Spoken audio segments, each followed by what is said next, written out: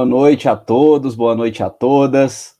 Sou Rodrigo Fortini, estou aqui para apresentar a quinta mesa da terceira edição do PP na Veia, um evento que muito nos orgulha, um evento que une todos os cursos de publicidade e propaganda da PUC Minas, São Gabriel, Coração Eucarístico, Praça da Liberdade, Poços de Caldas. É sem dúvida nenhuma um dos maiores eventos de universitários de publicidade do Brasil, né? Hoje já tivemos um dia cheio de, de, de encontros, de bate-papos, de palestras, é, e agora nós vamos falar sobre startups, aplicativos e infoprodutos. Né? Já de antemão, agradeço aos, aos convidados, que eu não posso deixar de, de citar. A Malu, ela estava me lembrando quanto tempo ela foi aluna é, nossa na PUC, já tem 10 anos, né? Foi monitora, foi aluna, é sempre muito bom ver essa trajetória que ela, que ela percorre. O Rodolfo, é, que tem também. Muitos de vocês terão filhos, e olha, acreditem, ele será muito importante na vida de todos vocês, viu? Ele é fundador do Leiturinha, Play Kids, enfim. E o Thiago Michieri, um amigo da época de, de faculdade e um parceiro de trabalho fantástico é, então, muito obrigado a todos por, por aceitar o nosso convite, estar aqui essa noite conosco. E queria chamar o Caio, também meu amigo de muito tempo, professor nosso também. É, ele vai mediar a mesa. Caio, muito obrigado e é contigo, meu querido.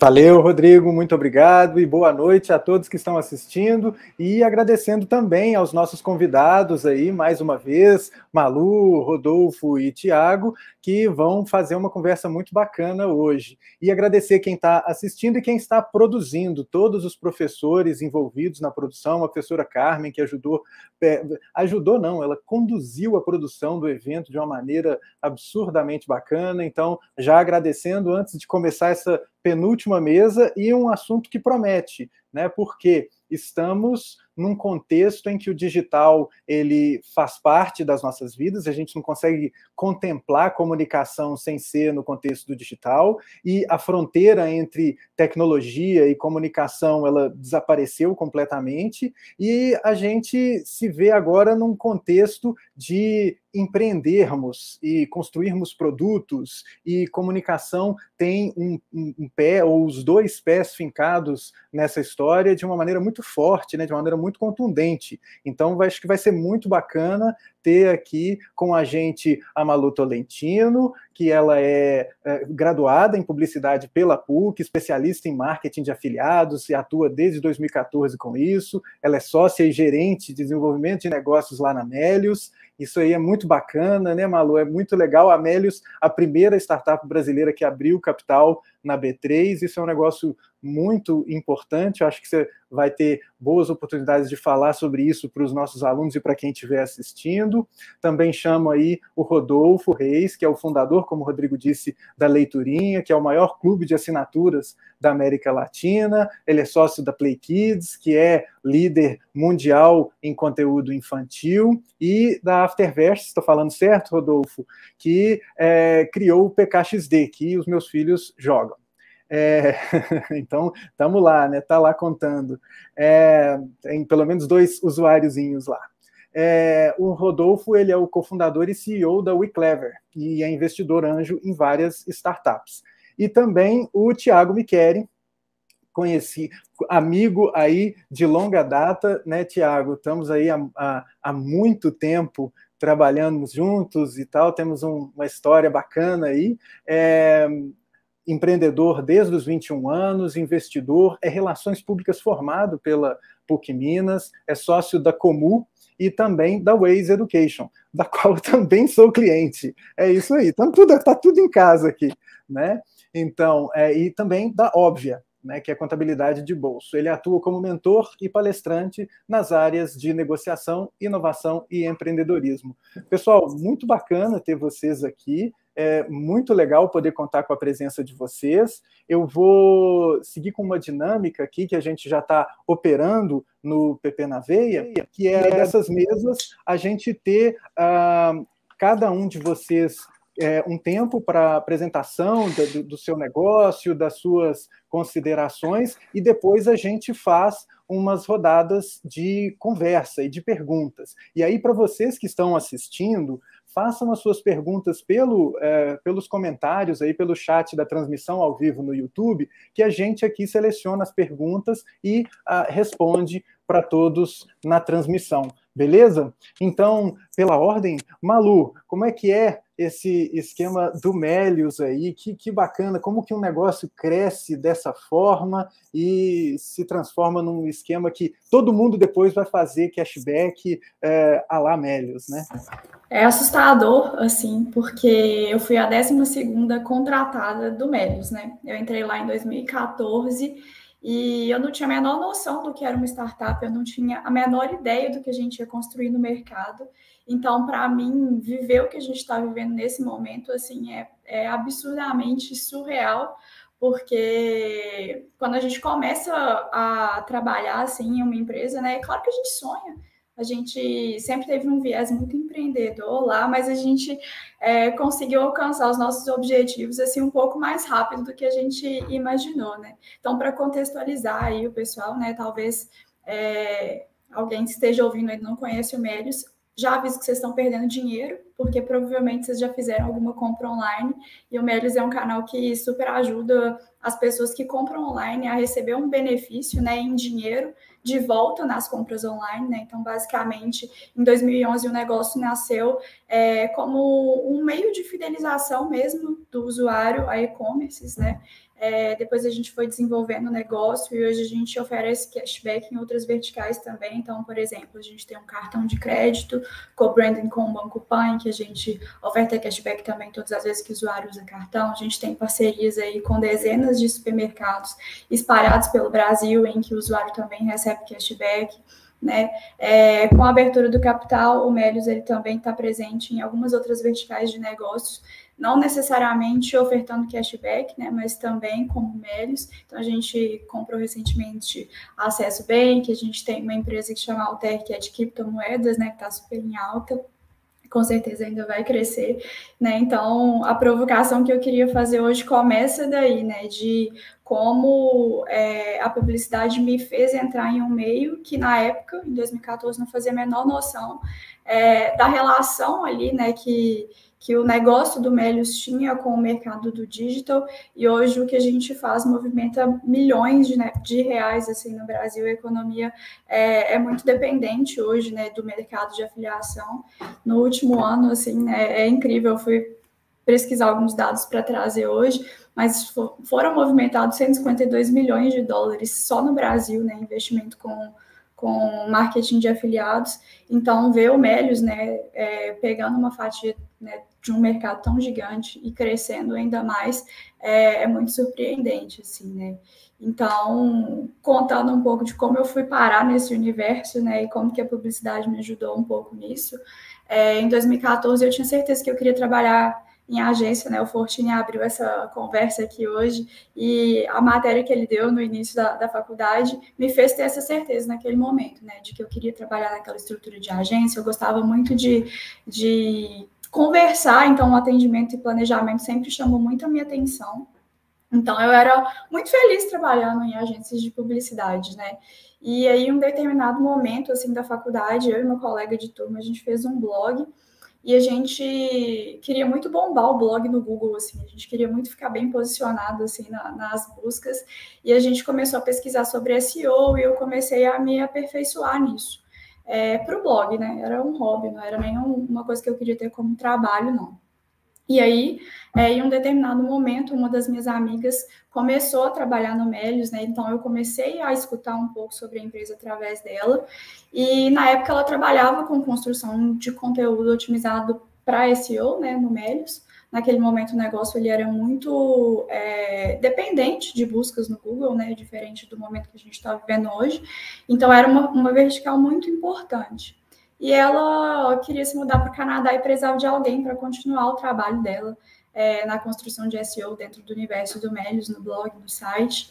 E ela me convidou, assim, para poder conhecer um pouco da empresa e, e dar sequência no trabalho que ela tinha começado ali. Eu achei absurdo, porque eu estava super gostando de trabalhar em agência, eu estava trabalhando como é, gerente de mídias sociais, então era uma coisa que estava em ascendência, assim, naquele momento, então eu achava que era o único futuro possível da publicidade, e então eu achei meio absurdo, assim, naquele momento, né, fazer uma transição de carreira, sendo que eu estava super gostando ali de trabalhar é, com, com redes sociais. Mas eu fui conhecer, né, a galera do Melios, que era uma galera pequena, né, duas pessoas, e assim, era muito claro é, a forma que eles é, tinham paixão pelo negócio, né, como eles queriam avançar é, com esse, essa metodologia de fidelização no mercado. E o Israel, que é o fundador que me entrevistou, ele falou com muita paixão sobre o negócio, assim, com muita empatia pelo mercado e com muita vontade de fazer acontecer, assim. E naquele momento, sem pensar muito em outras variáveis, eu aceitei, justamente porque ele me contaminou, assim, me mostrando, né, como que o mercado é, estava aceitando bem o modelo de negócio, como que era é, o futuro, assim, né, da tecnologia, é, o mercado de afiliados. E eu achei interessante e aceitei, assim. Cheguei em casa meio chateada, né? Porque eu falei, pô, o que, que eu vou fazer agora com a agência que eu gosto tanto? Como que eu vou simplesmente virar as costas, né? E falar que eu vou fazer uma coisa que ninguém nunca ouviu falar. E aí comecei é, a trabalhar, né, no Melios em 2014. E, e aí a gente começou a construir, né, o portal mesmo. Naquela época a gente tinha muito pouco usuário. É, hoje a gente já conta aí com mais de 20,8 milhões de usuários cadastrados na, na, plataforma, né? E a gente começou a fazer algumas parcerias com os e-commerces na época, e eu construindo, né, toda a parte ali de, de SEO do site junto com o time de, de front-end. E aí, um determinado momento, assim, é, o Israel, que tocava comercial na época, me convidou para tocar né, essa, essa frente. Então, tive a oportunidade de construir do zero esse relacionamento com os mais de 800 parceiros que a gente tem disponíveis hoje na plataforma, ofertando cashback para os nossos usuários. E aí, né, como que a publicidade é, é presente no meu dia a dia, né? Eu tive é, o prazer de fazer um portal de cashback é, ser monetizado através de venda de mídias, né? Que é uma coisa que a gente tem diversas matérias na faculdade, né? Então, além de trabalhar com afiliação, né? Então, só contextualizando aí a galera de, de como que funciona, gente, mas basicamente o que tem por trás do portal Melios, né? Para ofertar o dinheiro de volta, basicamente é, todos os links que a gente tem na plataforma, eles são rastreáveis e a gente monetiza esses links, né? Então, todas as vezes que um usuário clica lá no portal e ativa o cashback, a gente recebe uma comissão por estar efetuando aquela venda. E essa venda a gente divide com o nosso usuário, que é o cashback, né? Então, é uma, uma cadeia super ganha, ganha, ganha, por quê? A gente ganha uma comissão, obviamente, né, para sustentar o negócio. O anunciante, né, ele tem ali a, a, marca dele visível em um portal que tem muitos acessos, né, com uma base muito consolidada de usuários, então a gente usa todos os nossos canais de CRM para poder gerar vendas para esse anunciante por performance, ou seja, o anunciante só paga quando de fato ele gera uma venda, e é ótimo para o usuário final que recebe um percentual de, de cashback ali quando ele efetua uma compra ali online. Então é uma cadeia onde todo mundo sai ganhando. Né? Então foi, foi basicamente assim que a gente, a gente começou esse, esse trabalho lá, e em determinado momento a gente começou a vender essas, esses disparos né, de mídia, de, de veiculações dentro do, do portal. Então foi um, um momento assim muito legal, porque entrei lá sem entender como que eu ia de fato aplicar o que eu tinha aprendido na faculdade, e hoje né, eu, eu continuo super é, trabalhando com mídia, trabalhando com marketing de afiliados, né? Então, é uma coisa que é um, um, modelo de negócio que sustenta vários outros modelos muito presentes hoje na internet e as pessoas não fazem ideia. Então, por exemplo, tenho certeza que os estudantes aqui, principalmente, seguem algum influenciador no Instagram, no YouTube, e aí a gente super acha que a galera tá sendo bonzinho quando ele fala assim, gente, tá vendo essa blusa aqui? Maravilhosa, se vocês quiserem o link, arrasta para cima. Esse link aí é um link de afiliados, né? Então é um modelo de negócio que, que apesar do Melios utilizar ele para viabilizar o negócio que a gente tem feito, várias outras verticais, né, de modelos de negócio utilizam a mesma base para poder monetizar na internet, né? Então é uma é uma um modelo de negócio ainda muito novo. É, com certeza a gente vai ver aí muitos outros negócios nascendo aí da desse, desse universo né, de, de comissionamento por vendas no universo digital. E, inclusive, né, Infoprodutos, Hotmart, algo que a gente talvez fale aqui hoje também, tem essa base muito forte né, relacionada nesses, nesses links comissionados que são é, espalhados pela internet. Então, eu sou, sou muito feliz por ter tido a oportunidade de participar, assim, da, do início desse modelo de negócio no Brasil, né? E eu, eu tinha muito, muito receio, né? Como eu falei, dessa transição de carreira, é, e sou muito grata porque eu tive, me dei essa oportunidade, né? De conhecer, entender de um modelo de negócio novo, né? E, e hoje, né? Tenho a, a felicidade de, de participar, de ter participado do primeiro IPO de uma startup no Brasil. Então, acho que é, é a mensagem, né, o que eu queria plantar a sementinha em quem está ouvindo hoje é que talvez você foi fazer uma entrevista de estágio aí numa empresa que parece que está viajando na maionese, está querendo super inovar, é, assim como eu tive a percepção quando eu ouvi falar de cashback lá em 2014, mas é sempre interessante, né, é, buscar ali na, em todas as oportunidades que vocês tiverem de trabalho, entender como que o mercado em outros países é, tem percebido essa tecnologia nova, é, é, como que, que o seu dia a dia na faculdade, ali, as coisas que você aprende, elas podem ser aplicadas né, em esses, né, nesses, é, nessas inovações, né, muitas empresas inovando hoje no mercado de, de tecnologia, e com certeza os publicitários têm muito a somar assim nesse universo, né? E, e é um, um universo de startup, tecnologia, um, universo que tem contratado muito. Então, só para vocês terem uma ideia, hoje a gente tem no Melios é, 100 vagas abertas e está sendo um desafio tremendo, gigantesco contratar essa galera toda. E a gente precisa crescer, né? Então, é, independentemente assim, né, de, de como você vai exercer a publicidade, se é numa agência, se é numa empresa de tecnologia, é, o curso, sem dúvidas, ele, ele dá muita abertura para isso, assim, para você se posicionar de várias formas em diversos mercados diferentes, assim. Acho que é isso, não sei se teve alguma dúvida. Muito bacana, Malu. É, e é um desafio grande, né? Vocês sendo pioneiros nesse mercado, né? Nessa história de cashback, apesar de que a história de afiliados ela antecede, mas eu acho que essa pegada de aproveitar isso e criar um negócio em cima disso é uma coisa diferente. Sim, né? na época que a gente começou era muito forte o modelo de site de cupons, né? Inclusive o Melios até hoje tem os cupons lá dentro, porque a gente aproveitou o boom que estava rolando lá naquela época de cupons para pegar esse tráfego, fazer as pessoas conhecerem o modelo de cashback, se cadastrar no negócio e a gente conseguir ativar esses usuários depois que eles vissem que o dinheiro estava lá na conta deles, que eles podiam resgatar. Então, é a gente foi realmente pioneiro assim nesse modelo de negócio. E é bem legal assim, porque demorou bastante tempo para a gente conseguir enxergar concorrentes de fato, né? Então é, vieram vários outros modelos de negócio, às vezes até parecidos, né? Então, por exemplo, AME, que é um modelo de cashback hoje que está super forte no mercado, a gente ainda consegue co coexistir com eles, né? Porque o principal diferencial que a gente tem na plataforma é que a gente paga um cashback em dinheiro vivo para o usuário para ele fazer qualquer coisa que ele quiser no próximo dia, né? Então, se ele recebe ali 25 reais de cashback e quiser comprar um hambúrguer, ele pode. No AMI, não, ele tem que usar esse dinheiro dentro do site daquele próprio parceiro.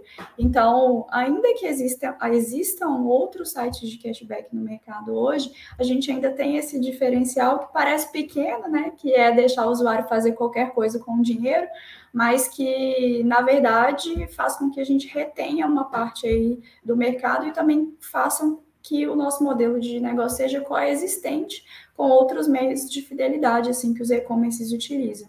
Tá bem é, legal. E tem, e tem uma coisa de gamificar esse processo, né? Porque a gente fica acompanhando no aplicativo Sim. qual que é, o, o, quanto que a gente tem para já chegar no, no valor necessário para fazer um, uma transferência para conta. Então, enfim, tem uma coisa Sim, de. Sim, a gente tem feito outros tipos de gamificação também. Então, por exemplo, é, antes a gente, o usuário chegava no site, ele podia receber um percentual só de cashback, ele era fixo, né? Hoje a gente tem raspadinha, em que o usuário pode é, ter a brincadeira ali de, de raspar uma, uma raspadinha virtual mesmo e ter um, um percentual de cashback ali específico para ele naquele momento.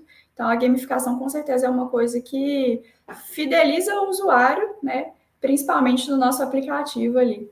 É, eu queria aproveitar essa história do, da gamificação, porque aí tem o PKXT do, do Rodolfo, que aí já convido o Rodolfo para falar aqui também. Malu, daqui a pouco você volta, então, Rodolfo, falamos de gamificação aqui, foi a desculpinha legal aqui para fazer essa, essa, essa transição, mas é e também nessa de pioneiro, né, cara? Porque com um programa como o Leiturinha e o Play Kids, ou esses programas, nesses né, produtos, né, tem uma coisa de, de pioneirismo aí também. Como é que foi essa história e como é que é trabalhar com esses produtos que realmente transformam e misturam essas áreas de tecnologia e de comunicação e de informação, né? Legal. Bom, é, primeiro Obrigado aí pelo convite, professora Carmen. Eu acho que quando eu vi o tema que vocês comentaram, é, imediatamente, Caio, veio na minha cabeça uma palavra, que eu vou guardar ela para o final, tá? Do, do, que eu vou falar aqui. Mas antes, é, aproveitando que a gente está no meio acadêmico e contar um pouquinho da minha formação. Eu sou engenheiro de computação e é, meu sonho era trabalhar numa IBM da vida, sabe? E eu fui trabalhar numa. É, me formei e fui trabalhar numa empresa, uma software house, né? Desenvolvendo software e tal. E eu vi que aquilo definitivamente não era o que eu queria fazer da minha vida. É, processos muito burocráticos, muitas reuniões, eu, eu não me encaixava nesse ambiente. Então, o que, que eu fiz? Eu pedi demissão, voltei para minha cidade, eu sou interior, do, do interior de, de Minas, e comecei a empreender. Devo fazer aí uns 15 anos empreendendo, dando tudo muito errado. Eu acho que eu já fundei umas 8 a, a, a 10 empresas. E algumas ali no final, porque esse é um processo muito legal, né? Um processo de aprendizado. Você erra, você aprende, você faz diferente na próxima. E aí, é, é, a penúltima, eu construí uma ad network, né? Tem tudo a ver com esse papo de publicidade e propaganda, que são aquelas redes de sites que entregam anúncios. Aqueles banners, enfim, que aparecem, aquilo lá tem uma, uma complexidade de tecnologia muito grande atrás daquilo, para entregar um anúncio de uma maneira tão rápida. E ali eu literalmente me apaixonei por marketing digital. É, acabei é, ajudando na construção do engine, né, de um, de um motor de entrega de anúncios. E aquilo começou a dar muito certo. A gente chegou a ter quase 20 mil blogs onde a gente monetizava, onde a gente fazia a ponte entre o, o anunciante e aquele. É, é como a Malu falou, era, era muito do, do, do marketing de afiliados. Bom, por N motivos ali, é, é, eu acabei me distanciando um pouco da empresa e justamente no momento em que a minha filha tinha nascido e eu tinha um hábito que eu gostava muito de fazer com ela, era ler para ela. Porque é, muito além da leitura, era aquele momento de eu estar com ela, dela prestar atenção no que eu estava falando, interação, né? E aí, como todo empreendedor, um empreendedor que já tinha quebrado cinco startups, falei, mais uma, não tem problema. E aí, em 2014, surgiu a leiturinha, um hobby. É? Eu adorava ler para ela, peguei aquele hobby, transformei no negócio, mas ao mesmo tempo tudo que eu tinha aprendido de marketing digital, eu comecei a aplicar dentro da leiturinha. E o que foi um hobby acabou se tornando algo grande. É, tanto é, como você mesmo disse, Caio, a leiturinha hoje é o maior clube de assinatura da América Latina, com quase 200 mil assinantes.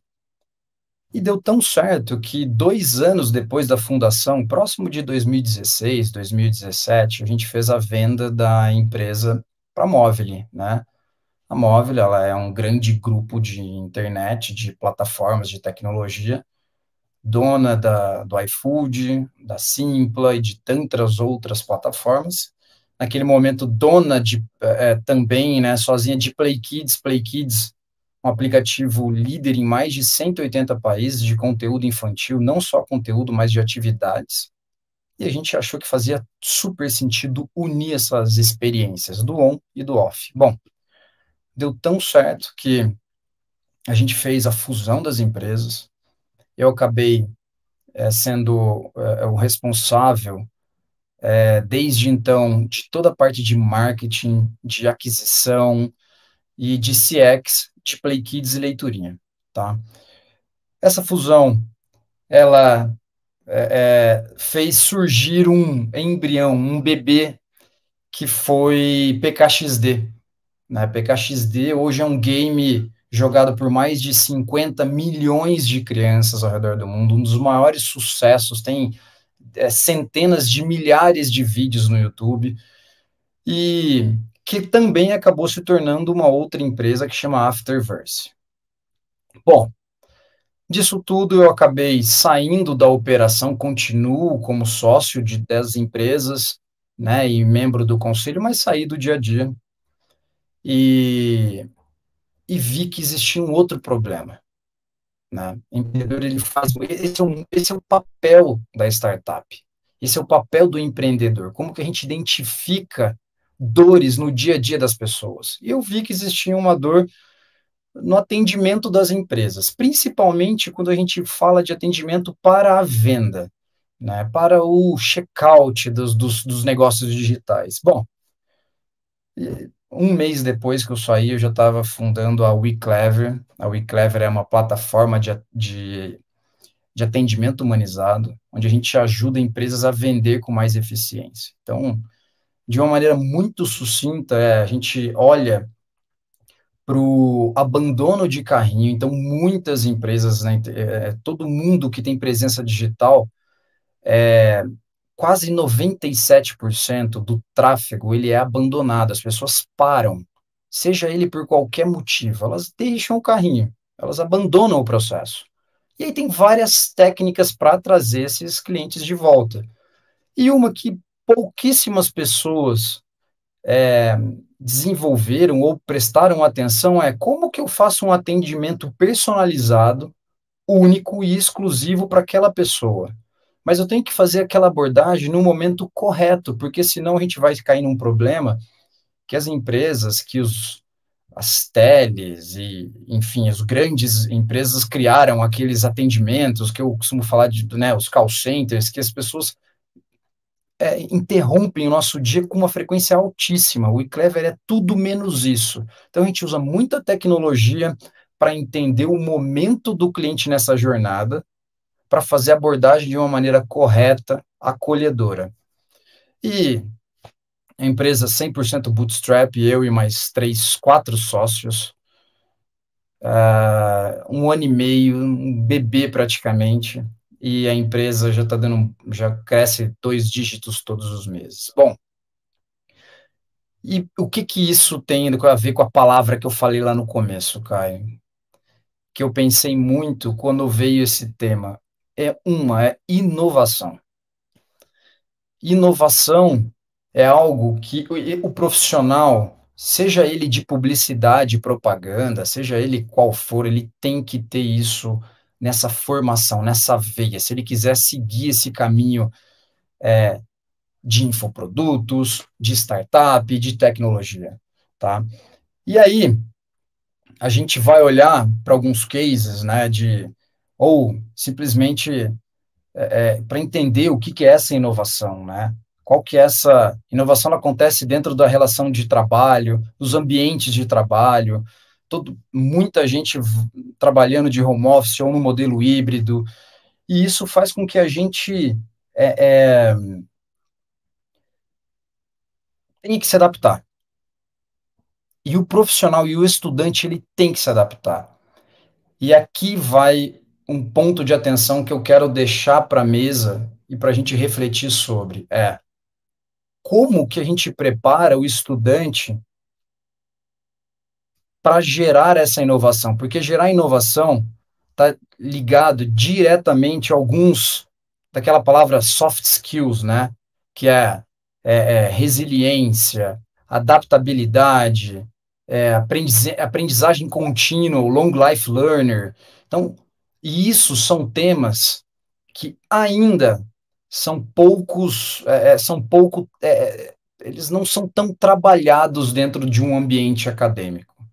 Né? Então, trazer esse ponto e provocar isso é super importante, porque senão a gente vai ter cada vez mais profissionais frustrados, né, que querem ir para um ambiente de startup, querem fazer negócios digitais, mas ao mesmo tempo eles precisam ter ciência de que um ambiente é muito difícil, um ambiente muito dinâmico, que requer inovação. E inovação está ligado a estes soft skills. É como que a gente cria profissionais ou como a gente desenvolve profissionais resilientes, que se adaptam fácil nos ambientes. Então, eu acho que essa é uma palavra que eu queria trazer. Eu queria trazer uma ótica um pouco diferente para esse debate. É legal, a gente vai falar sobre muito sobre tecnologia, mas para desenvolver tecnologia, a gente tem que falar muito de inovação e para falar de inovação, a gente tem que falar de alguns algumas características dos profissionais, dos estudantes que ainda é muito pouco debatido, tá? Então, é, elencando isso com a sua deixa, é isso que a gente construiu, sabe, Caio? É ter um time de pessoas resilientes que se adaptam. A gente não imaginou que Leiturinha ia se tornar o maior clube da América Latina atualmente. O que a gente fez muito é errar, aprender e fazer diferente. Errar, aprender e fazer diferente. Então, acho que esse é um ponto super relevante para esse papo. Não, eu acho muito bacana, Rodolfo, e acho muito legal como um assunto para já provocar o Tiago, porque ele trabalha isso também. Eu acho que ele vai ter oportunidade de falar isso agora, e na volta a gente retoma com esse, esse esquema, porque eu entendo o seguinte: a gente vai. É, a gente está lidando com um, um contexto de transformação do mercado. Veja bem, você vem do, de uma formação de computação, produz um produto que ele é digital e que ele é um produto de comunicação e que está num ambiente de, de que mistura tudo. Então, é negócio, como a Malu trabalha aí, é negócio, é, é digital, é, é, é, é tecnologia e é comunicação. A gente não tem mais fronteira, né? E, e, o, e o estudante ele está estudando dentro de fronteiras. Então é um desafio muito grande para tentar explodir essas fronteiras e passar disso dentro da universidade também. Acho que vai ser uma conversa muito legal. É. Legal. É, ah, e como é que você está vendo isso aí dentro da, da, da, empresa? Como é que você vê isso já fazendo a primeira pergunta e, e para aguçar ali a fala do Tiago que já vem? Como é que você faz isso na empresa com os seus funcionários para recrutar? Eles vêm de caixinhas e você tenta explodir essas caixinhas? 100%. É, hum. Quando me perguntam o que, que as empresas, né? Hoje eu, tô, eu dedico meu tempo para o WeClever, mas isso dentro de todas as outras, eu ainda participo de reuniões de board, da, tanto de Play Kids, de Afterverse, de leiturinha. E quando me perguntam é o que, que a gente vai fazer daqui seis meses ou um ano, como é que vai ser? Eu falo, eu não tenho a menor ideia. O que eu sei é qual que é a nossa visão do futuro, qual é a dor do nosso cliente, como é que a gente vai chegar lá, a gente tem que se adaptar. Então, hoje, a gente contrata profissionais que têm um potencial de aprendizado e de se adaptar, é, é, e isso é muito mais importante em, em grande, é, na sua grande maioria, do que aquele profissional muito bom em uma determinada coisa. Porque esse profissional, quando a gente trocar o rumo ou para a gente mudar o trajeto no meio do caminho, ele vai ter muita dificuldade de se adaptar. Então, o que hoje, e aí eu falo pelas empresas na qual eu sou sócio, que eu invisto, né? Eu, tenho, eu, eu faço parte de um fundo de venture capital também. E, do, e com as pessoas que eu converso é esse profissional que consegue se adaptar que ele tem aquele, é uma palavra que está muito em voga, mas é o soft skill, né? Como que a gente se, é, é, é, se torna um profissional resiliente, né? que consegue é, limiar de frustração, porque vai dar tudo muito errado. A gente vai errar muito. A gente vai errar uma, duas, três, cem vezes. E depois de errar cem vezes, talvez lá vai dar certo, né? É, foi o que a Malu falou. Olha como começou Mélios e olha o que, que se tornou. Errando, errando, errando. E muito provavelmente nessa jornada, muitos esse, esse, ótimos profissionais ficaram no caminho, porque não conseguiram se adaptar. Então, esse é um tema muito interessante que eu gosto de estudar, é um hobby. Não, muito bacana, Rodolfo. Agora eu convido, então, a partir dessa resposta, o Tiago, para ele entrar aqui e contar a história dele, Tiago. Conta aí como é que é esse negócio de você desenvolver isso tudo também nos negócios e, e vindo também como a Malu veio, né? Você veio da PUC Minas, o Rodolfo veio da tecnologia, do, da computação, mas tanto você quanto o Malu vieram da faculdade de comunicação e hoje extrapolaram as fronteiras das suas formações, né, cara? Então, mais uma vez, bem-vindo e manda brasa aí, cara. Obrigado, Caio. É, assim, super legal estar aqui com com Caio, com Rodrigo, com Rodolfo e com a Malu. É, o Rodrigo falou que a Malu tem 10 anos de formado no, na, aí no prédio na, na, PUC, né? Eu tenho 20, então eu tô ficando, tô ficando velho, mas a trajetória é legal. É, o Caio foi um parceiro de trabalho, né, Caio? Quando a internet era, quando era tudo mato. E era o cara que eu recorria para aprender um pouco sobre internet na prática ali no primeiro dia que eu comecei a trabalhar numa agência. Mas eu acho que, pegando a fala do, do, do Rodolfo, eu acho que essa questão de, de se adaptar é uma das características que a gente mais busca nos profissionais hoje, né? E, é uma característica que o profissional de comunicação ele acaba tendo como diferencial.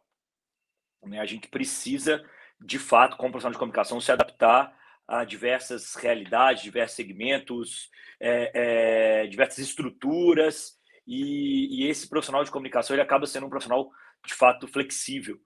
É, é mais recentemente, eu tenho me dedicado a um, a um, negócio na área de educação, né? A, a Waze é uma, é uma startup que eu invisto na área de educação de, de do contraturno para crianças e adolescentes e diversas pesquisas mostram como as soft skills são serão são e serão relevantes para o futuro para prosperidade né para a felicidade das pessoas é, é, no mercado de trabalho é, é para poder realizar os seus sonhos né é, tem números, tem, tem algumas pesquisas que falam que 85% das profissões que serão exercidas em 2030 ainda não foram inventadas. Né? Elas não existem ainda. E, e a gente, e a academia, ela vai preparar a gente para ser flexível, né? A escola vai preparar a gente para ser flexível e para poder assumir essas posições no futuro. Quando, quando eu formei em RP, a, a minha expectativa ela, era, ela, já, ela já tinha mudado algumas vezes, porque eu empreendi logo com, com 21 anos, eu estava no sexto período de faculdade, e montei minha primeira agência. É, minha primeira agência, eu tive outras três agências. Como Rodolfo, eu sou um apaixonado por CNPJ, então acho que eu estou no 14 CNPJ. Sou, gosto de, de empreender em áreas diferentes, e mas eu sempre me mantive na, no negócio de comunicação. Né? Hoje eu sou sócio da Comu. A Comu é uma agência é, mineira com DNA digital, mas muito, muito orientada à geração de negócios e performance para os seus clientes. E a gente, como o Rodolfo falou lá, a gente busca muito mais é, essa capacidade de adequação, né, de, de essa flexibilidade do profissional do que a formação em si. Outro dia me perguntaram: ah, você pergunta, você questiona quem você entrevista sobre sobre a sua formação, eu não pergunto mais a formação das pessoas, tá? É, eu pergunto sobre as experiências que as pessoas têm. Eu gosto de saber o, que elas realizaram. E muitas das pessoas me contam é, realizações que vêm desde a faculdade. E essa, esse espírito de realizar, de completar ciclos, de construir histórias que são positivas, fazem toda a diferença quando, quando você vai para o mercado hoje, né? É, para o mercado cada, cada vez mais é, interessa cada vez mais para o mercado essas realizações. Pode ver o, o, o que Malu colocou mais cedo, o que o, o Rodolfo colocou. O Rodolfo foi, a, a partir de fracasso, ou de erro, ou de realização, construindo uma trajetória. Pô, o cara, ah, para quem, quem não conhece, o cara é sócio de negócios assim gigantescos, né? Gigantesco. Afterverse é um negócio gigantesco. E, e como ele falou, isso parte de aprendizado, né? Erro, acerto e, e, e a gente vai aprendendo. É, eu queria falar um negócio, eu queria falar sobre um pouco sobre empreender, assim. É, eu acho que muita gente na faculdade, né? Vários, muita gente é, jovem busca no mercado de trabalho é, vagas e, e oportunidades em, em, empresas. E como a Malu falou, é, eu acho que uh, quanto mais jovem a gente está, a gente não pode perder isso depois que, que os anos vão passando, mas uh, quanto mais jovem, mais uh, oportunidade a gente tem de, de arriscar em negócios inovadores, como a, a Malu é, arriscou ali quando ela, quando ela foi para dentro da Melius. É, eu, eu adoro a, a, o case da Melius, sou, tenho umas ações dos caras lá na, lá na, lá na Bolsa. É, depois do IPO, os caras valorizaram horrores. Mas voltando à questão do mercado, eu acho que, que quem está no, no, na escola, quem está na faculdade hoje, é, tem uma oportunidade de, de escolher ali alguns passos de aprendizado e de tomada de risco.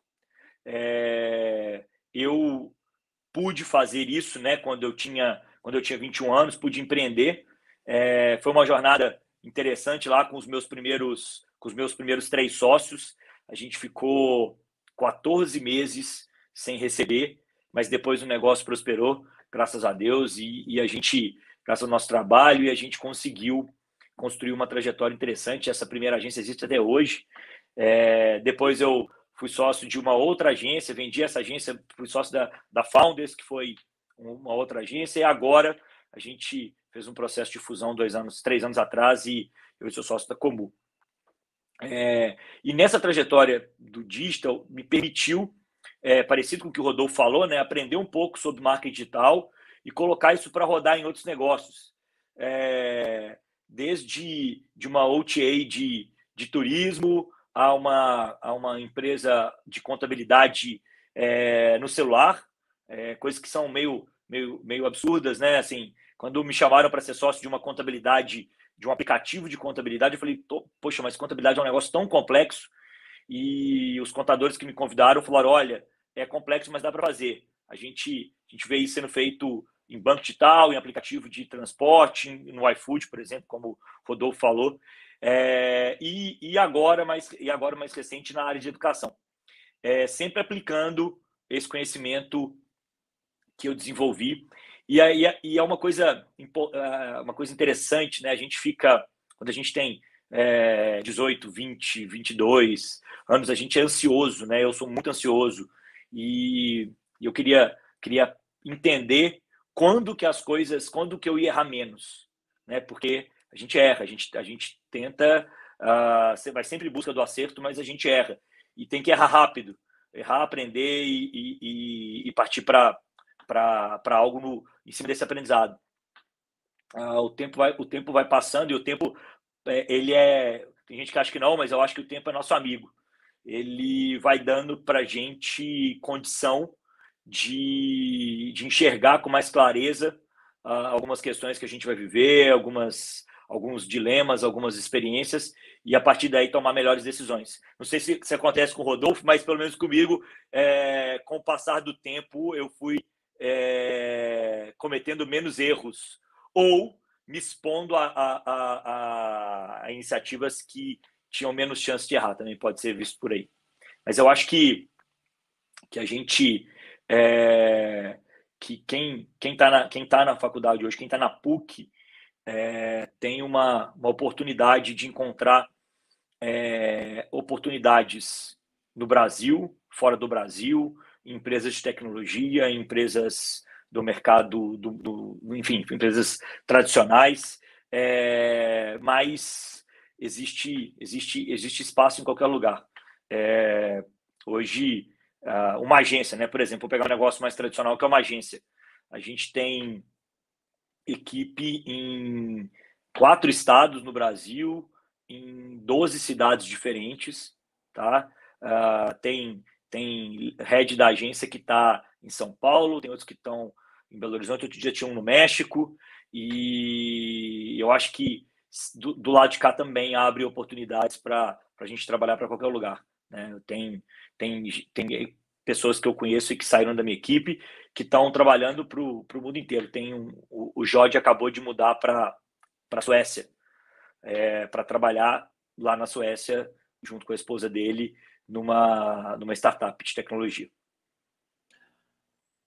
Isso daí mostra, né, eh, eh, Tiago, uma, uma, uma coisa de justamente, né, assim, de extrapolar essas caixas, que nem o Rodolfo extrapolou a caixa, a Malu extrapolou a caixa, e, enfim, eu queria começar a, a, a, a colocar perguntas para vocês. Eu tenho um monte delas anotadas aqui e vou colocar e vou começar com a pergunta da professora Luciana Andrade, porque ela fez pergunta aí na caixinha do chat né, na, no, chat do YouTube e convido a todos que estejam assistindo que façam a mesma coisa, façam as suas perguntas aí no chat e vamos conversar sobre isso. Olha, ela faz uma pergunta direcionada ao Tiago, que é além da flexibilidade, quais são as habilidades e competências que são importantes nesse mercado de comunicação e digital. Mas aí, depois do Tiago responder, eu acho que Rodolfo e Malu também podem falar, porque eles também estão atuando aí, e eu acho que vai ser uma boa para a gente começar mais provocações aqui. É, eu, eu vou concordar com, com o que o Rodolfo falou. Soft skills fazem a diferença, é o que a gente contrata. Tá? Hard skills a gente treina, soft skills a gente contrata. É, eu, eu gosto é, muito de, de, buscar pessoas que tenham é, uma capacidade de execução é, muito alta, que tem uma empatia para lidar com a equipe, sabe? A gente tenta criar nas empresas sempre um, um, um ambiente muito é, saudável e próspero, sabe? É, em agência, isso é muito difícil, sabe? A gente, a gente contratou duas pessoas em São Paulo, que foi engraçado que a gente contratou duas, duas lideranças em São Paulo, é, e eles estão em busca de ambientes saudáveis para trabalhar em agências. É, eu acho que empatia, ética, é, curiosidade, resiliência são valores, são as qualidades que eu busco num profissional. Porque na, a, eu vou falar, vou falar da história de agência, tá, Caio? Você, lembra disso? É, eu tinha um programador Flash, aliás, tinha um animador Flash em 2000 na, em 2002 na agência. Não existe isso mais. Em 2002 não tinha um analista de, de, de comunidade, não tinha um, um, um, uma área de, de listen. Então, assim, é, esses caras, é, essas, essas profissões surgiram e vieram da adaptação de profissionais para atender essas áreas. Então, assim, a hard skill, a hard skill a gente treina. Vamos lá, é, acho que criar um ambiente de trabalho é, é, é saudável, que, que propicie esse desenvolvimento é o que, é, é, o que a gente busca, que são, são soft skills, as que eu falei. Acho que resiliência, empatia, curiosidade, é, eu acho que isso é, isso é o mais importante. Eu queria completar com algo técnico, assim. É, eu acho que foi a, a, a, cara que eu. a porta que eu bati a cabeça foi exatamente aí, assim. É, o meu ponto de decisão ao entrar no mercado de publicidade, ele veio de um pensamento muito errado que eu tinha, que era ah, eu não sou uma pessoa boa em matemática, eu não gosto de trabalhar com dados, então eu vou fazer publicidade porque outras pessoas vão estar preocupadas com dados e eu vou participar da parte criativa, vou trabalhar mais nessa, nesse universo que não depende tanto assim de números. E o mercado me fez entender, passando muita raiva e tendo que estudar muito, muito além do que é, eu deveria estar estudando já na minha vida profissional, porque eu fechei um pouco os meus olhos, assim, totalmente para esse universo de análise de dados, assim, vejo que os profissionais que têm uma boa capacidade analítica e um, um perfil é, mais focado em entender o que vai acontecer depois da execução daquele, daquele trabalho ali, eles têm muito mais sucesso né? Quando você olhar para a faculdade, assim, qualquer um dos seus colegas ele vai saber veicular um anúncio ali nas plataformas Google, Facebook, mas o profissional que vai ser um, um diferencial, assim, é aquele que vai entender é, o, se esse anúncio aqui deu certo, por que, que ele deu certo? E esse deu errado, por que, que deu errado? Então, vamos fazer um teste AB para entender se essa teoria aqui de, de por que deu certo é a teoria certa mesmo. Então, acho que é uma, é uma coisa que a gente procura muito no Melios e o setor de tecnologia procura muito profissionais que saibam trabalhar analisando dados é, e eu fico simplesmente chateadíssima quando vejo as cadeiras que poderiam estar sendo ocupadas cada vez mais por publicitários, ocupadas por engenheiros, é, por pessoas que vêm de universos mais de exatas, porque eles não sabem fazer a parte que a gente aprende a fazer na, na faculdade, mas eles sabem a parte de analisar aquilo que, que a gente desenvolveu, assim. Então, acho que ainda na faculdade, se as pessoas passarem a se preocupar mais com esse, esse, esse lado, é uma, é uma, uma grande chance ali no futuro dela ter bem mais sucesso, assim, do que um colega que não se preocupou em aprimorar esses skills. Você, você vê isso também, Rodolfo, lá na, na, na, área de tecnologia, na computação, essa coisa de dar essa afastada para sumirem as fronteiras e começar a ter uma visão mais ampla, igual a Malu acabou de falar, né, de ver o além, ver a coisa para além do que, daquilo que a gente está rapidamente sendo treinado no, numa hard skill? Eu acho que sim, Caio. Eu acho que é um movimento sem volta, sabe? Eu, vou, eu, eu li um artigo muito interessante um tempo atrás, voltando na, nessa questão do soft skill. Acho que é importante a gente falar sobre isso, né? Que olha só que curioso. Como que a gente antes media, antes assim, sei lá, 20 anos atrás, 10 anos atrás, media se um profissional ele estava sendo, ele estava trabalhando muito, ele estava trabalhando. Qual era o primeiro feeling? É, eu passava na mesa dele e eu via ele lá, se matando e trabalhando e tal, focado, não sei o que, não levantava para pegar o cafezinho. Era assim. Eu trabalhei em software house há 20 anos atrás e era desse jeito. E agora que a gente não vê mais os profissionais? Começa a mudar todos os valores e essas é, esses valores que mantinham de pé essa estrutura antiga, né? Então, por exemplo, se você não tiver proatividade, como que você é, não vai, não vai conseguir se desenvolver? Não vai. Por quê? Porque você está na sua casa, ou você está viajando, ou você é um nômade, você está em algum lugar e você precisa sentar e trabalhar. E trabalhar está muito relacionado agora à produtividade, ao quão produtivo. Por exemplo, dentro é, das empresas, Clever, Leiturinha, Play Kids, não tem horário. Acabou esse negócio, muito provavelmente na Melios também, muito provavelmente nas agências é, do Michele, não tem. Então, cada vez mais, é, esse profissional com esse soft skill e essa visão analítica que a Malu trouxe. É muito verdade.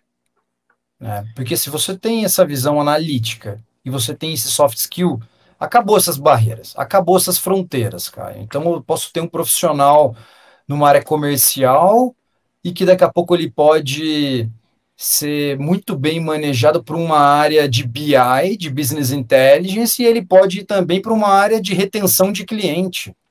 Por quê? Porque ele se adapta fácil, ele é proativo e ele tem uma visão dos números.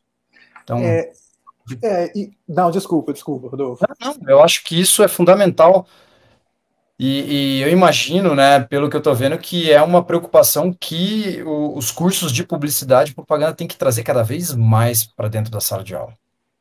Pois é, pois é. Isso me, me, me remonta a uma coisa que o Tiago falou, de estar de, de tá ali insistindo, e eu acho que o que a Malu disse, e, e, e suscita essa pergunta que a Bruna fez aqui no chat, que agora a gente coloca na tela aí, eu acho que é uma coisa muito interessante, porque o que vocês falam, vocês, você acabou de falar um esquema agora, Rodolfo, que é muito legal, que é de, ah, não tem mais horário, e os desafios, eles, eles mudam, e você começa numa área e vai para outra, como aconteceu com o Malu, como aconteceu com o Tiago e tudo mais. Aí a Bruna pergunta, Malu, o que, que passou segurança para você acreditar no propósito do Mélios? Porque é muito legal ver isso no mercado agora, né? Porque sempre foi, mas agora eu acho que isso está mais presente na história de ser uma, uma venda dupla, né?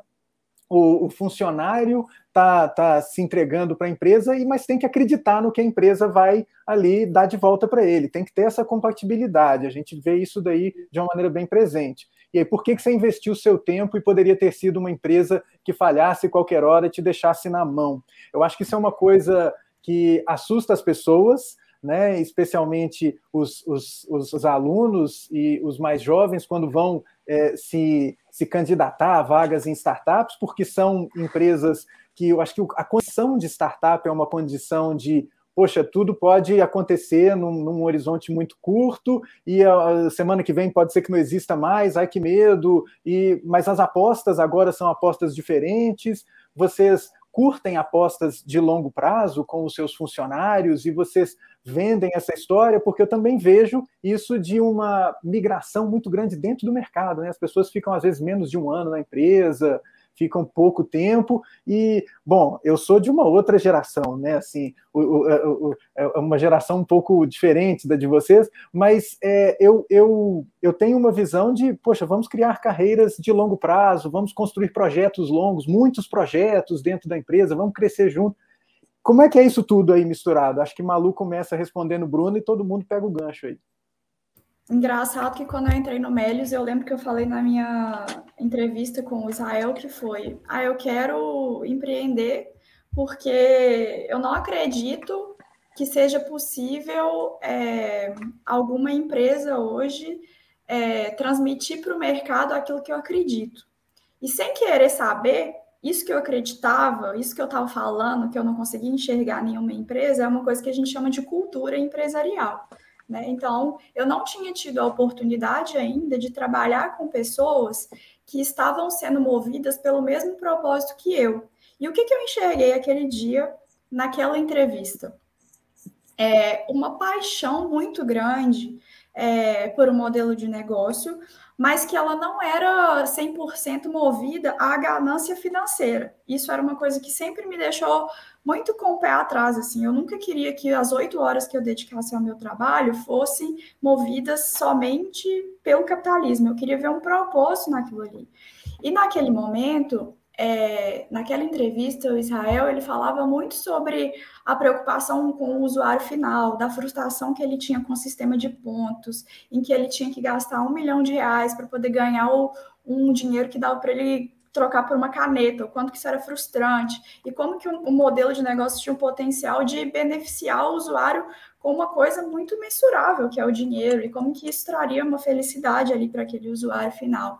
Então, o que me fez ficar e o que me fez dedicar o meu tempo foi porque no dia, no primeiro dia que eu sentei na minha cadeira e eu olhei para o lado, eu estava num ambiente totalmente colaborativo, de pessoas que pensavam muito igual a mim, as pessoas não tinham medo de errar, elas tinham uma vontade muito grande de fazer o negócio acontecer, e a gente sempre falou uma coisa, desde quando a gente era muito pequenininho, que era, gente, se esse negócio de cashback der errado e amanhã a gente montar uma outra empresa de seja o que for, com as características que a gente tem aqui, com essa equipe forte, né, focada no, no, com a mesma maneira de, de pensar, a gente vai ter sucesso. Pode, a gente pode errar aqui, depois errar lá e depois errar numa terceira tentativa. Mas não tem como essas pessoas com as qualificações que elas têm quebrarem todas as empresas que elas se envolveram, assim. Então, acho que é, é muito o que me fez ficar foi essa junção dos soft skills que a gente tinha muito parecido e que a gente continua buscando hoje, né? Então, é, as pessoas pensam muito nisso de, de é impossível manter uma cultura empresarial quando a gente está falando de uma empresa maior, né? Quando a gente fala de startup, fala de cultura, talvez a gente está falando num ambiente ali de no máximo 150 pessoas. Mas hoje no Melios, a gente tem certeza que o sucesso do nosso negócio se dá 90%, não estou exagerando, não é 100% da qualidade de tecnologia, não é o mercado que está aquecido por tecnologia, mas porque as pessoas ali, elas, ela, ela é uma parte muito importante, né? Então, é, hoje mesmo num cargo de gerência, eu gasto cinco horas da minha semana é, cinco não, dez horas da minha semana envolvida em entrevista de cultura, que é uma conversa que a gente tem com os candidatos mesmo para entender se a gente tem esse match, se é a pessoa sendo feliz com a gente e vice-versa. Porque assim como você, Caio, a gente quer pessoas, por mais que o mercado hoje, é, eu estou falando que desvaloriza pessoas que têm uma postura diferente, não, mas a gente quer trazer pessoas que vão investir o tempo dela na nossa empresa e a gente quer investir dinheiro naquela pessoa também né, para que ela seja feliz e para que a gente receba todo o conhecimento daquela pessoa ali, né? Treinar uma pessoa é muito caro, desenvolver uma pessoa é muito caro, né? Então a gente quer criar esse relacionamento aí de longo prazo. E é isso que me faz ficar até hoje, assim. Eu vejo que o que move nosso negócio é essa paixão pelo nosso usuário, de resolver problemas, seja por meio de, de cashback, ou seja, é, através de criptomoedas, ou criando um, um banco que seja totalmente diferente o que me faz ficar é porque as pessoas têm esse mesmo objetivo e elas são fodas, assim, eu aprendo com todas elas diariamente e eu não tenho medo de quebrar o negócio, eu sei que se der errado, a gente vai fazer outra coisa que vai dar certo. Então isso me faz ficar até hoje. É semelhante, Rodolfo e Thiago, aí para vocês? Olha, eu, é, eu, eu trabalhei muito tempo num negócio, é, digamos, tradicional, né? Agência de comunicação. A gente lidava com com, com digital, mas o modelo é oriundo do mesmo modelo da, das agências tradicionais que tem, assim, que, que são, é, foram fundadas na década de 60, né? No pós-guerra, década de 50 e 60. É, eu acho que a, a, a, a, gente confunde muito os modelos, o modelo da startup hoje com esse modelo de tudo vai acontecer muito rápido. Mas a, a startup, e a Malu é um exemplo disso, ela construiu um modelo de partnership que é feito para o longo prazo, sacou? Assim, a, startup procura pessoas para se envolver com ela profundamente. E isso, para mim, é, por exemplo, a gente aplica isso, esse tipo de modelo hoje dentro da agência. Por quê? Qual que é o grande problema das agências? A mão de obra que circula de quatro em quatro meses, de seis em seis meses, por, o, que eu, o que a gente não quer. A gente quer profissionais. Então, eu acho que uh, uh, o modelo de negócio das startups, a maneira de gerir é, é, é, as pessoas e de trazer para dentro talento é um modelo que tem que ser replicado para todo tipo de empresa.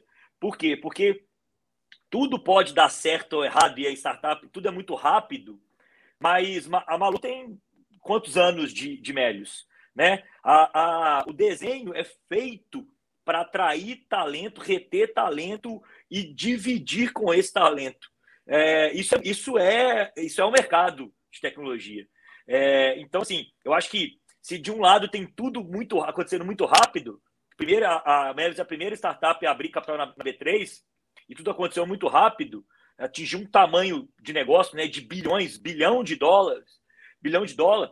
É, do outro lado, ela é feito para atrair e manter esses talentos lá dentro. Então, isso eles fazem muito bem. Mas aí você precisa ter performance, obviamente. Né? É preciso encontrar e saber se aquele lugar é o seu lugar. Mas se aquele lugar é o seu lugar, você tem performance, está alinhado com o propósito, é para construir relações de, de, de, ou ciclos que se fecham, né? Assim, é, é, então, assim, é, eu acho que, tem que o mercado, todo o mercado de trabalho, de empreendedorismo, tem que aprender com, esse, com isso. É, eu, por exemplo, tento replicar isso dentro das agências. Por quê? Porque eu quero que esses talentos fiquem conosco, né? fiquem trabalhando comigo durante muito tempo. E se você não dividir com eles, não vai rolar. Eu acho que uma vantagem que os estudantes têm hoje, que não era tão forte na minha época, é porque as empresas ela, elas não se posicionavam assim dessa forma tão aberta com relação à cultura.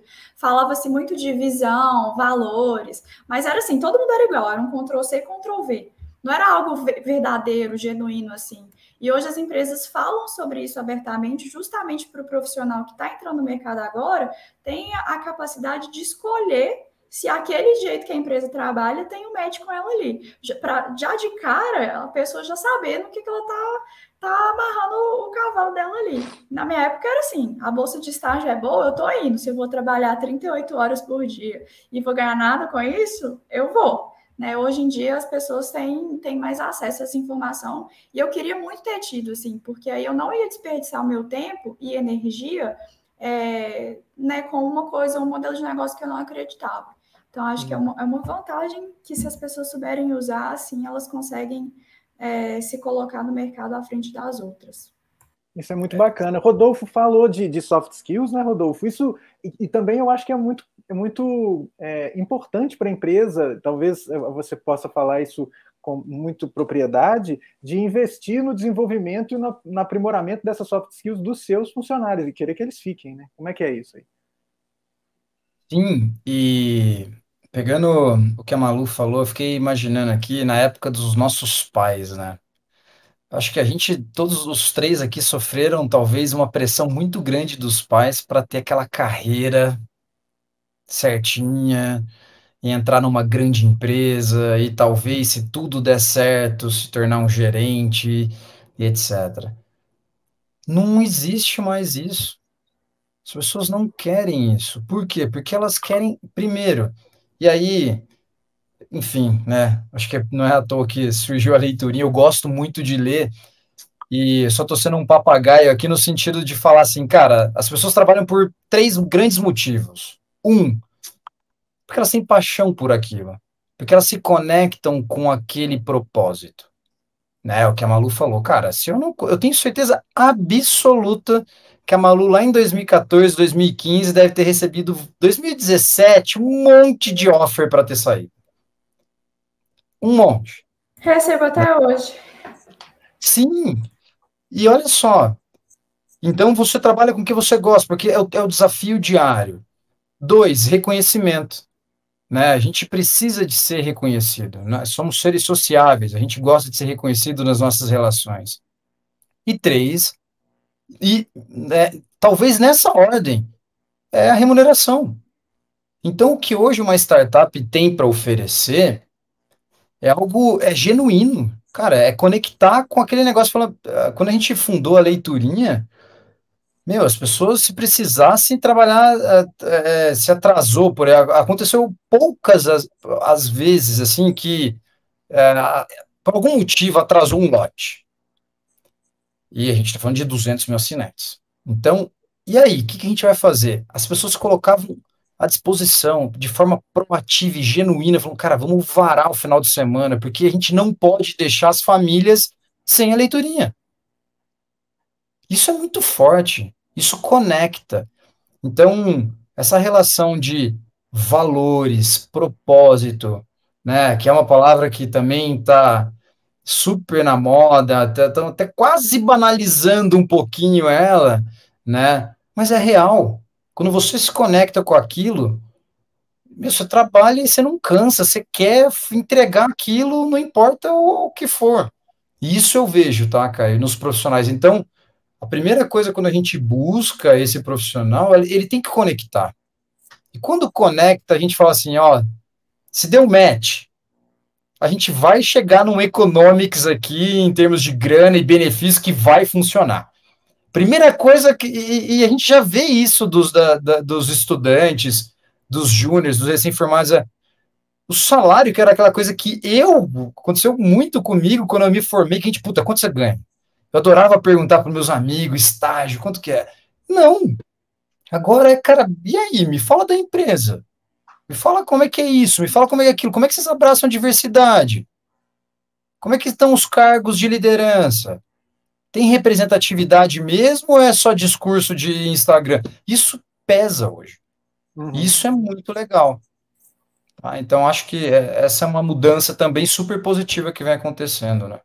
É, startups elas representam um, um, cenário de mudança, como vocês falaram, e aí teve uma coisa que você acabou de falar aí, Rodolfo, que me chama a atenção, que é a história do, do banalizar. Aí eu queria fazer uma pergunta que muda um pouquinho de assunto, porque a, a, a, Bruna até comentou aqui de novo, né, pela resposta que vocês deram, que ela fica mais tranquila agora, ela se sente mais tranquila em fazer a aposta que ela está fazendo, porque ela confia na equipe. Eu acho que é um caminho que é bem bacana esse mesmo. Agora, você falou de uma, de uma coisa aí, Rodolfo, que é essa, essa palavra de banalizar, né? essa palavra banalizar. É, eu vejo uma coisa relacionada a, ao termo startup, e aí eu queria saber o que, que vocês acham disso, porque vocês três estão com empresas consolidadas. E quando a gente vai ler aqui dentro da universidade a literatura sobre empreendedorismo, ela vai falar que startup é um momento da empresa que ela está justamente começando, ela está iniciando as suas atividades. Chega um momento que ela já está em velocidade de cruzeiro, que ela está ali operando e que não cabe mais chamar de startup. Como é que vocês enxergam isso? Isso vocês acham que não, nós somos startup, ou então agora, né, que tem o banco falando que é startup há 160 anos, e aí vem com a, o storytelling do, do, do Murphy, que não existe, enfim, controvérsias, dilemas criativos e questões criativas à parte, mas como é que é? Vocês consideram que a startup é startup para sempre? Startup é um momento? O que, que é? é? Posso começar? Aí, vamos lá. Eu acho que se a gente for no conceito ao pé da letra, é, um Nubank não é mais uma startup. É, porque o conceito de startup são negócios disruptivos, altamente escaláveis, que crescem num ritmo dois ou três dígitos ao mês e que é, ainda não gera uma receita relevante. Esse é o conceito. Né?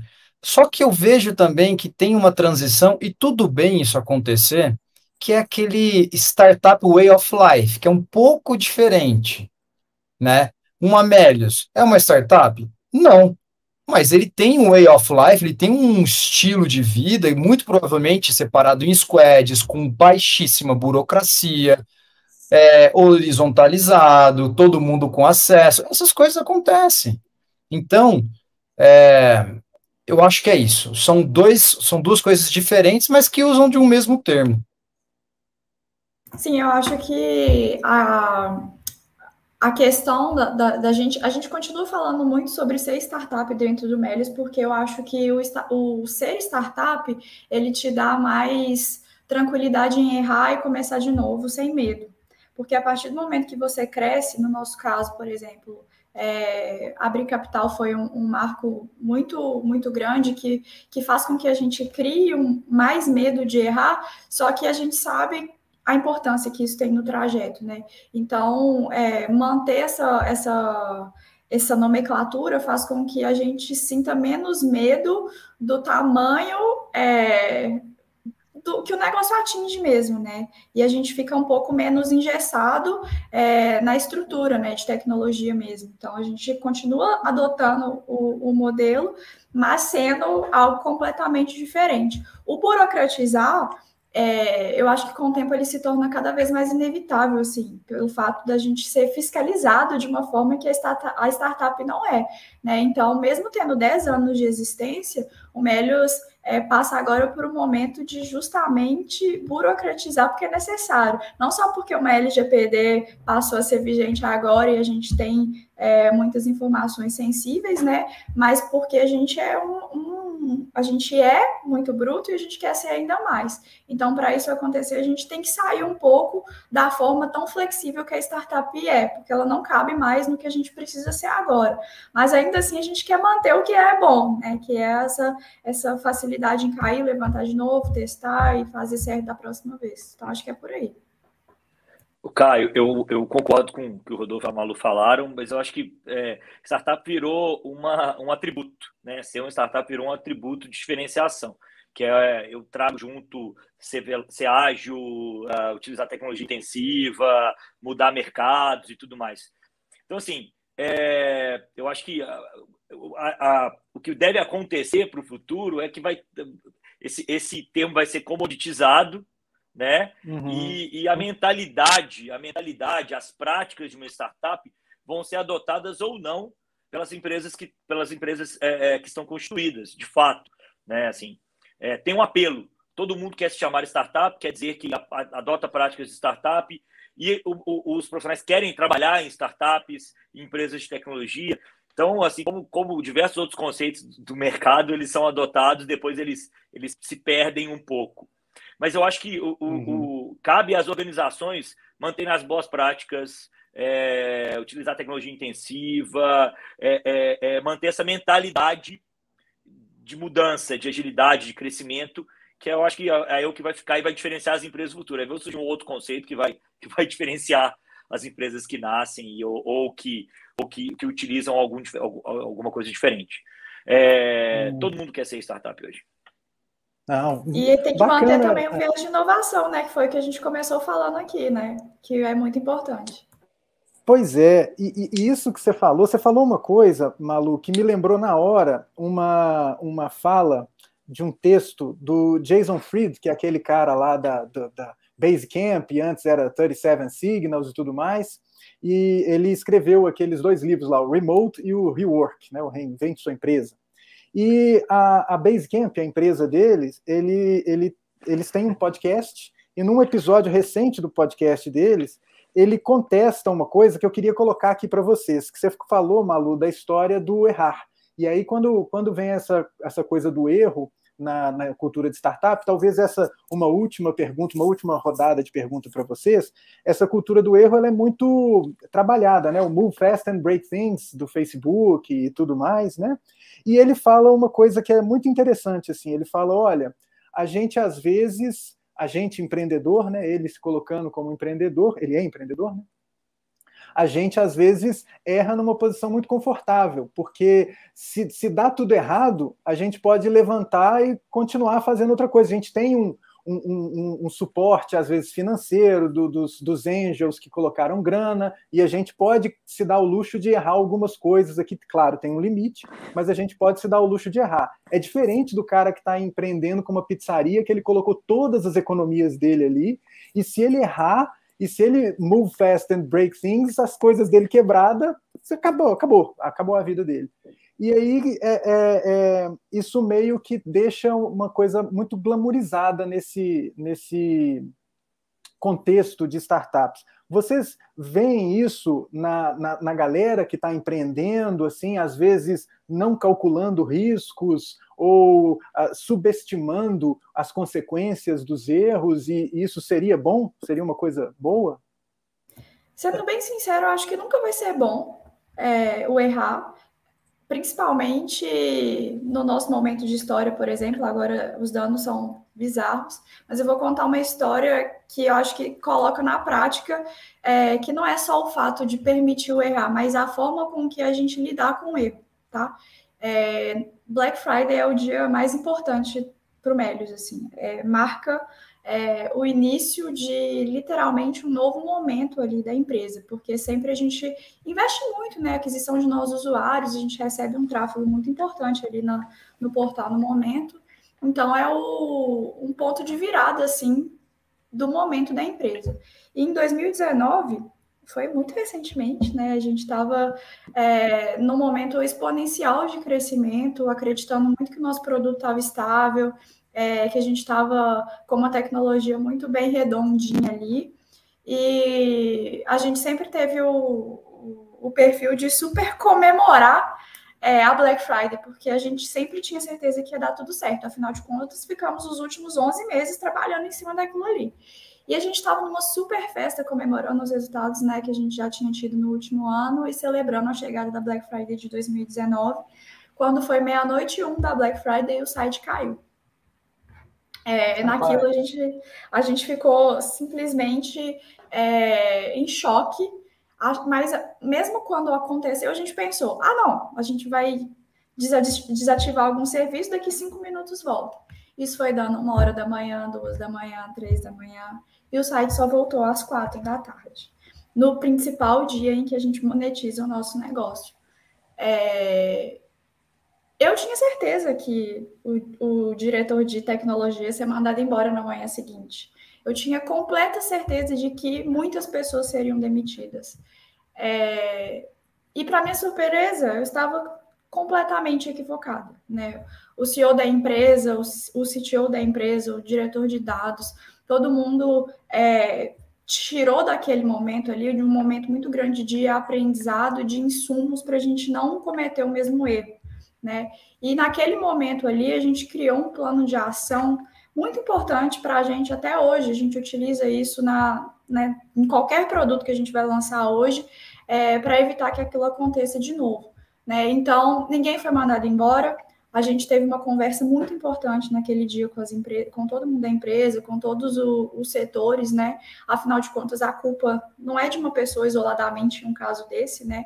E, e a gente simplesmente focou em resolver e como a gente poderia fazer diferente. E não achar culpados, fazer cabeças rodarem, sabe? Eu acho que isso diz muito mais sobre essa cultura de, de ser permitido errar é, porque a gente não normaliza isso. A gente não vai deixar o site cair de novo no ano que vem, tá tudo bem, sabe? Mas a forma que as coisas acontecem a partir de um erro é diferente. Né? Então, acho que a, a cultura desse errar e, e, fazer diferente, acho que vem mais da, da postura que se toma quando erra do que de normalizar e banalizar o termo. Entendi. Rodolfo, é assim também aí com você nas suas empresas? Eu acho que sim. Aliás, você falou uma frase. Cara, você puxou um tema que é tão intenso agora, mas. E, e enfim, daria para ter outro papo sobre isso. Mas, assim, tem essa frase, você sabe que ela já caiu do Facebook, né? Assim, o tal do break things já não é tão break assim, ele causou vários problemas, então até ele tirou. Eu, eu, eu gosto de uma outra que é fail fast, learn faster. É, uhum. R, mas aprenda mais rápido. Né? Então, eu acho que isso é um ponto super relevante que a gente tem que considerar. Não dá para você estar tá nesse ambiente de inovação, de tecnologia, de startup, com esse tipo de profissional que vem surgindo, se você não permitir o erro. Mas, acima de tudo, aprender com ele e dar volta por cima. Eu acho que isso é super importante. E, e voltando à questão de glamorização que você falou, sim, é um grande problema. E aí é um, é um ciclo vicioso gigantesco, que aí é o mercado que precifica cada vez mais, os cheques de Series A, de, de early stage, estão cada vez maiores, e aí você vê startups que estão no PowerPoint, já valem alguns milhões, Ixi, aí vai embora. Mas é, é, tem que tomar muito cuidado com isso, porque startup, no fundo, nada mais é que uma empresa. É você pegar um sonho teu e executar ele e tentar tirar ele do papel. Isso é 99% difícil, 99% solitário, 99% é, dor, mais 1% vale a pena. acho que é isso. É, o, o, Caio, eu acho que assim é, é preciso separar essas coisas. O, a, essa frase do fundador do, do esse, esse Acho que esse foi o podcast né, que ele participou do Basecamp, não foi isso? Sim, é o podcast é, da Basecamp. É. é, eu concordo com ele porque é o seguinte: não dá para aplicar essa mesma régua nos negócios do mundo real. Não é assim. Não é assim. É, não é assim quando não é assim quando você quando você não tem um cheque, sacou? É, não é assim quando está em jogo a, a sobrevivência do negócio, tá? Eu acho que a mentalidade é, ela passa também por certa responsabilidade. E esse é um dos grandes dificuldades, é, é, é, um, é um grande problema na hora de inovar, na hora de construir um negócio do zero que tem um risco, tem um risco determinado. Tá? É... Ah, ah, qualquer um pode montar uma startup, qualquer um pode montar uma startup. Qualquer um pode ter uma ideia e sentar a bunda na cadeira e começar a tirar do papel? Pode. Só que é preciso olhar em que contexto você está. É, como eu disse lá atrás, quando eu montei a, a, a Plan B, você conhecia, você conhecia a Plan B bem? A gente ficou 14 meses ali, a gente não tinha o direito de errar. Se a gente errasse, acabava o negócio, a gente ia para casa, eu ia trabalhar no, no marketing em algum lugar. Então tem, é, é, é, importante separar isso. O cara que montou o espetinho e que pôs 100 mil reais, que ele saiu do, do hospital de não sei aonde, e ele administrativo montou o espetinho, ele pôs os 100 mil reais dele ali para montar o espetinho, ele realmente vai olhar e falar assim, velho, tá doido, mano. É o, que eu, o dinheiro que eu juntei da minha vida. Então, assim, eu acho que é importante dizer que existe uma camada de empreendedorismo, de negócios digitais, negócios inovadores, escaláveis, igual o Rodolfo falou, que aplicam tecnologia intensiva, que, ger, que tem um apelo e que geram e que atraem é, é, financiamento. Esses negócios são. É, é, é, é não vou falar, a palavra não é receptivo, né? Mas são. Eles, eles, eles toleram, lidam com o erro, como a, como a Malu falou. É, é muito diferente do negócio da vida real, que está quebrando e está gastando seu dinheiro ali e tudo mais. É, mesmo quando você tem um negócio, é, quando você está investindo ali, ou fundou um negócio inovador, eu acho que talvez o Rodolfo tenha visto isso, você tem ali um cuidado, você vai ter um cuidado, não é, ó, vamos errar, vamos fazer na loucura. Eu acho que é preciso separar isso, ninguém faz na loucura. Mesmo as startups mais permissivas, com ambientes mais abertos possível, possíveis, a, a, o, o, erro é tolerado, mas na, na, na, direção do acerto. Não é uma loucura insana do tipo, vamos fazer qualquer coisa e vamos. E vamos, e vamos. Por isso que muitas vezes. É, é... ah, você quer empreender numa área? E você vê, a maioria das startups de sucesso são de profissionais acima de 40 anos. Porque esses caras tiveram outros businesses, aprenderam a, aprenderam a gerir, cuidar de negócios, é, tiveram experiências em segmentos, a partir dali eles construíram teses e foram desenvolver seus negócios de tecnologia. E, e então, assim, é, é, eu acho que tem um pouco de espuma nessa história, de fato, tá? É, eu acho que a gente tem que, que entender isso. Ninguém vai para uma startup para errar na louca.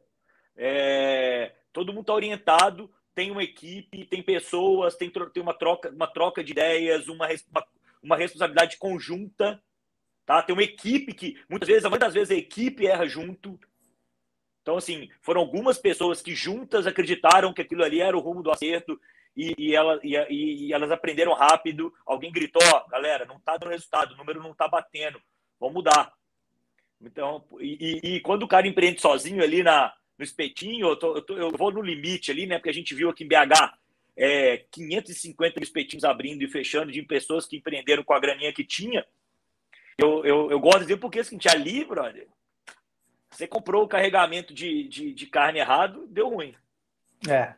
Nossa, gente, e assim, eu peço desculpas porque o assunto que eu coloquei aqui agora, como o Rodolfo falou, é super. Dá né, assim, dá para a gente falar demais. Ainda tem a pergunta do professor Alexandre aqui que ele colocou no chat para Malu para falar do pós-IPO. Malu, desculpa, eu acho que não vai nem dar tempo, porque a próxima mesa do PP na Veia, pessoal, começa agora às 8h30 e a gente não pode nem ficar junto, porque tem um cara que está aqui nessa mesa agora que vai ter que estar tá lá também. Então, assim, Alexandre, obrigado pelo comentário. Malu te responde aí no privado, porque, rapaz, né?